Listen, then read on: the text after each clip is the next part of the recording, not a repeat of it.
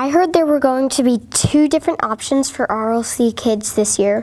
One during the 9 o'clock service and one during the 10.30 service. Which one do you think mom and dad will sign us up for? Nine o'clock. We always go to the nine o'clock service.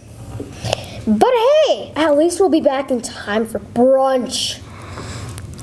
Yeah, I think I'm gonna like this new fall schedule for RLC kids.